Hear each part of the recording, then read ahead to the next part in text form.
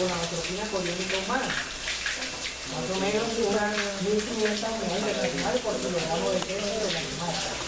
Se inyectan intraperitonealmente las hembras y se colocan en un estanque eh, que son de color oscuro en el interior, se colocan las hembras.